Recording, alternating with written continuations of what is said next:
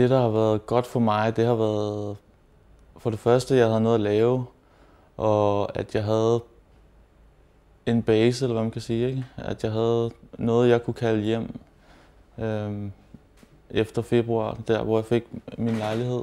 Øhm, og så har det jo været, at jeg har haft mennesker omkring mig, som tror på mig, og en familie, som har støttet mig, og en kæreste, der har støttet mig, og et netværk herinde i Café Exit, og med fangekoret, det har også været en stor støtte.